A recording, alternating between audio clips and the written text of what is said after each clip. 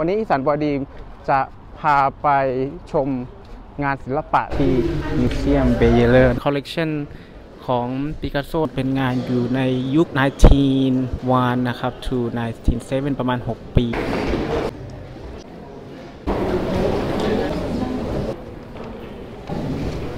ที่เห็นตอนนี้นะครับ เป็นงานที่แพงที่สุดนะครับ แล้วเป็นไฮไลท์ของ exhibition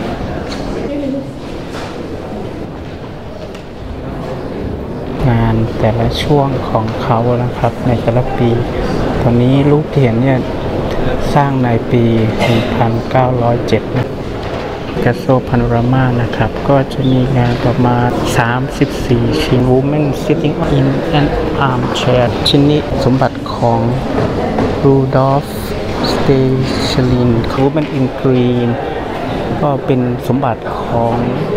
แซมลัง Bust of Woman with Hat นะครับ ผู้หญิงที่ใส่หมวกห้องโถงใหญ่นะครับ ก็เป็นห้องวิดิทัศน์ห้องหนึ่งที่คนเยอะมาก งานของศิลปิน จะว่าเป็นแนว conceptual ก็ได้นะครับ ชื่อ Rudolf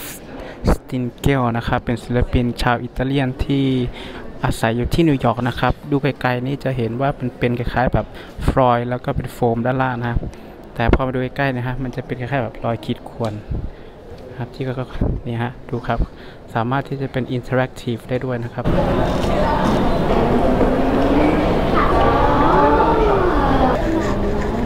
สื่อต่างๆนะครับเป็นแคตตาล็อกอาสารนี่นะครับ ก็ราคาประมาณ 2,000 กว่าบาทใช่วันนี้ฝนตกนะฮะก็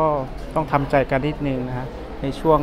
อาร์เบโซสองสวรรค์นี้ก็จะตกกันนี้ นั่นก็เป็นบรรยากาศนะครับของการเข้ามาชมคอลเลกชันที่ใหญ่ที่สุดนะครับที่ได้อ้างอิงมานะครับของปิกัสโซเป็นยังไงค่อยมาติดตามกันในครั้งหน้านะครับ วันนี้บายบายไปก่อนนะครับ